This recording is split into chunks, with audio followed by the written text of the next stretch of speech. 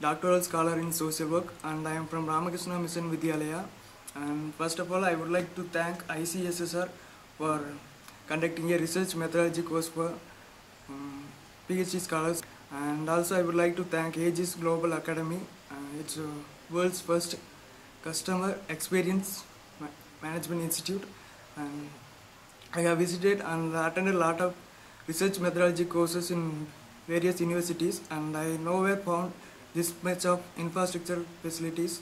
And also, this methodology course offers me to interact with more people like us, and also it, it really helps us to develop our research quality. Research persons are very much expertise. They are very much helpful for us to work with the research problems and also what are the present situation is going around exa- the plagiarism they have told a lot of ab- lot thing about the plagiarism.